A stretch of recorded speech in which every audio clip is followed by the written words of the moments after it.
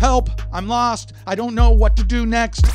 Here's the problem as an artist, as a creative, as a, say, actor, writer, painter, musician, there's no clear path to success. Okay. It's not like, say, an accountant or an attorney or a dentist.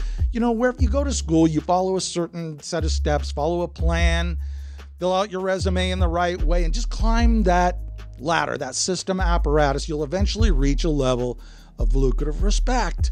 There is no roadmap for an artist, for a creative. So, how do we know what to do next? And I'm going to give you today the best process that I know to devise a clear plan forward. If you're wanting to manifest a dream, if you want to reach an unconventional goal, or, you know, complete a creative project, whatever it is, along with the tip that is really the secret sauce to turning your dreams into reality, waiting not so silently at the end of this video. So stick around for that. So let's get started with the story about a young man who returned from college and moved back in with his parents. After a cushy year at home playing video games and noodling around with his guitar, his father asked him, When are you going to put that degree to work and do something with yourself? And the son admitted that over his years in college and over the last year, his interests had changed and now he wanted to be a musician.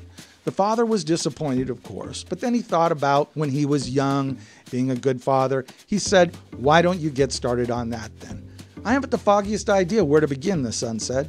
The father then realized that college had failed to teach him even the simplest approach to achieving anything.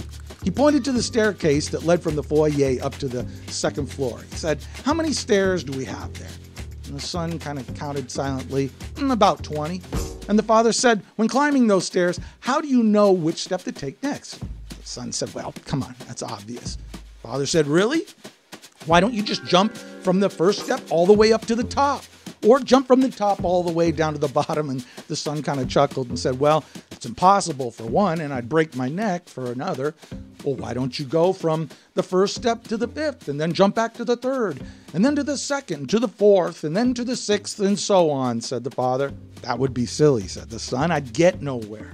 So it stands to reason that the quickest, smart way from the top to the bottom, or the bottom to the top, is to put a foot on each step in order. Unless I skip a step, the son said, kind of laughing to himself, making fun of his dad a little bit. Not a good thing to do. That can happen sometimes, said the father with a smile, and steps to a goal work the same way. Each step will have a place you need to be before you take the next step. Sometimes you'll have setbacks, sometimes you'll get lucky and you'll be able to skip a step.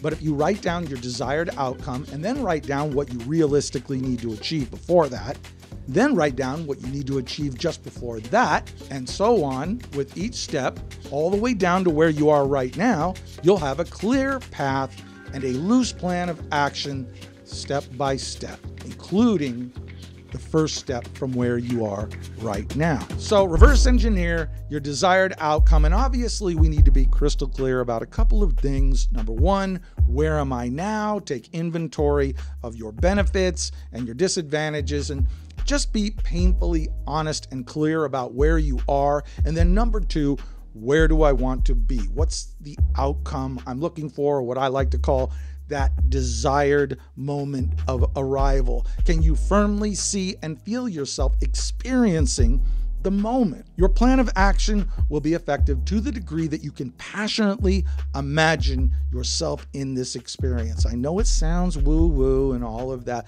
but I have played this out so many times, guys. It's 100%. It's 100%. Okay. Be flexible, but only backwards and forwards, okay? Not side to side. Avoid distractions that pivot your attention and and constantly change the direction of your focus. This will keep the target always moving and keep you in a constant state of starting over. Mm, maybe been there a time or two. Stay focused on the next step, but be willing to fail back if you have to, into some failure, and jump ahead a step if you can. Sometimes luck falls our way, and you'll have to take advantage of that unique opportunity before you're ready. Steve Jobs said, People think focus means saying yes to the thing you've got to focus on. But that's not what it means at all. It means saying no to the 100 other good ideas that there are. you have to pick carefully. That quote could use some sentence structure, but I think he hits the point right on. According to David Rock of the Neuro Leadership Institute, multitasking, or focusing on more than one thing at a time, actually drops our IQ, causing us to make mistakes and miss subtle cues.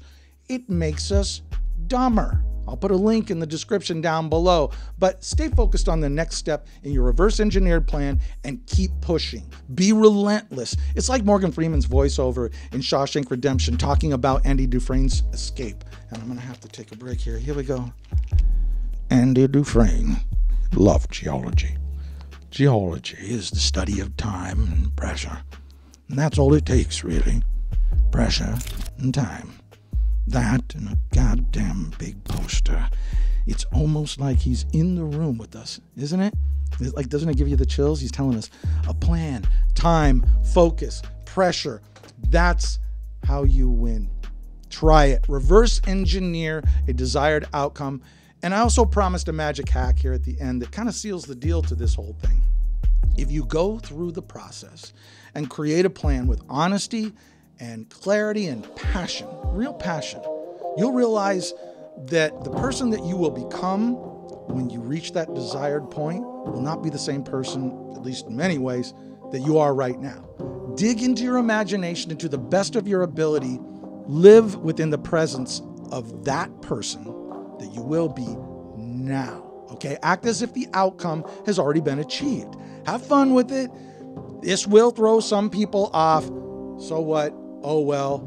I'm not saying if you want a million dollars that you should go spend like a drunk sailor like you won the lottery, but embody and live with the focus and presence and passion and the purpose and the and the and the persistence and all these other words that start with P. the person who has manifested the outcome and really deserves it. Are you saying I should be like a little child and pretend? Is that what you're saying, Ben? Yes, I'm saying pretend until you don't have to, until it becomes an actual reality. And be smart about it. Be a good person because this is powerful mojo. Your imagination absolutely can force reality. I've seen it so many times, guys, and it works. Don't take my word for it. Try it for yourself. Test it out for yourself. And we'll leave it there. Thanks so much for being here with me today. Support these episodes on Patreon. And also, we have a merch store as well. Get shirts like this. And until next time, I'm Ben Jewell. Know yourself better than you know anyone else.